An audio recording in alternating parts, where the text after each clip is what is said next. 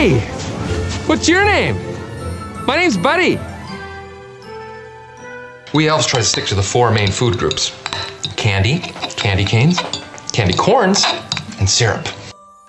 And then I traveled to the seven levels of the candy cane forest, past the sea of swirly, twirly gumdrops, and then I walked through the Lincoln Tunnel. The best way to spread Christmas cheer is singing loud for all to hear. Santa! Oh my God! Santa here? I know him.